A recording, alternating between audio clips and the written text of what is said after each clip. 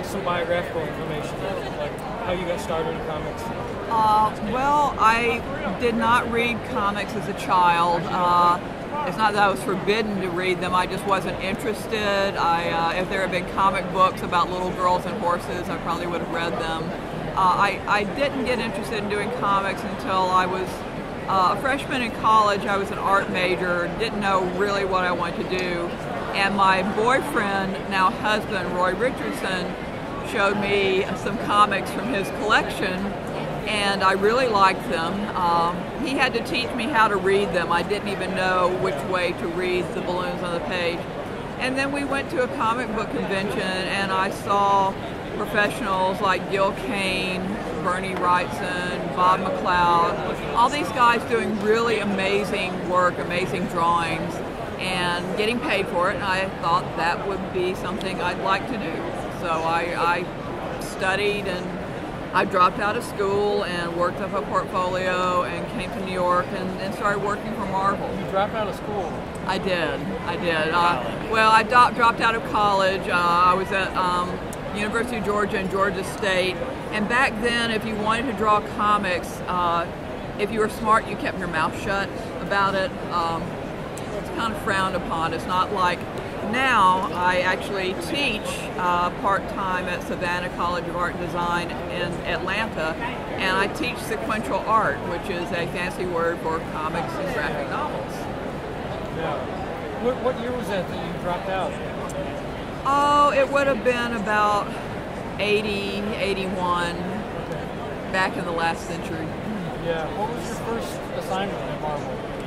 My very first assignment was on Conan the Barbarian. Uh, it was really bad. it was a backup story in Conan the Barbarian. But right after that, uh, I started working with Louise Simonson. We worked up a pitch for Power Pack, um, and Marvel bought it, and I started drawing Power Pack.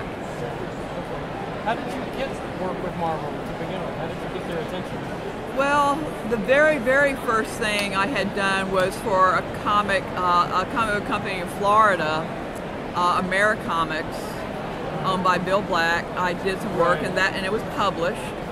And from that, I got a job in the DC New Talent book, and that was published. So I had something published in hand. And back then, if you wanted to get into the Marvel offices, I knew someone who worked there as basically like a secretary um, or an assistant editor.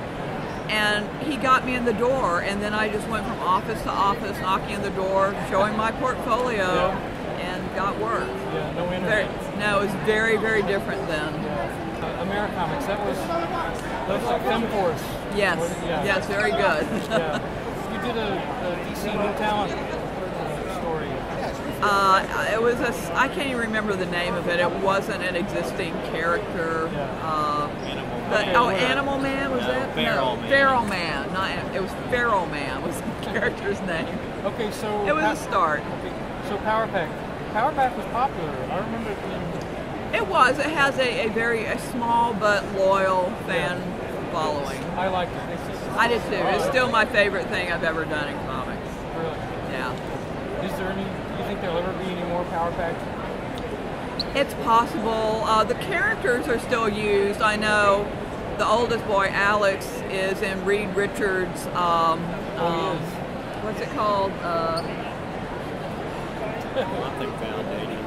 something Future Foundation. Future, I think that's it. He's in, and, and the other characters show up every now and then. But will they ever bring the book back? Will they ever make a movie? I don't know. There's always talk, but no action.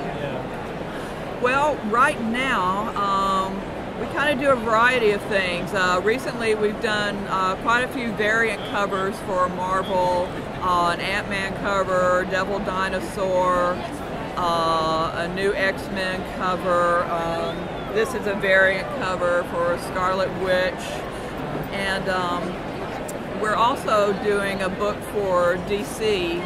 It's in it's in uh, partnership with General Mills Cereals, and it'll be in cereal boxes, which is actually kind of cool.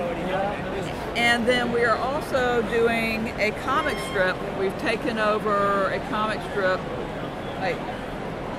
Because when you go to conventions, you always have to bring work with you. Um, this is in progress.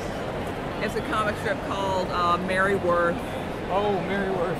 So the uh, artist Joe Giella, after 25 years, he's finally decided that at age 87 he's going to slow down, and so he's retired. And uh, my husband and I have taken over the art chores on that. And then I, I do, and then I teach part time. I do some illustration work. Do illustrations for Horse and Rider magazine. I'm sure you all read Horse and Rider. okay. Well, thank you very much. well, thank you. Please remember to press that like button, it helps my videos get seen. And then subscribe so you can come back next time. I do science fiction book, TV, and movie reviews all the time, and please consider becoming a patron. There's a link in the description below.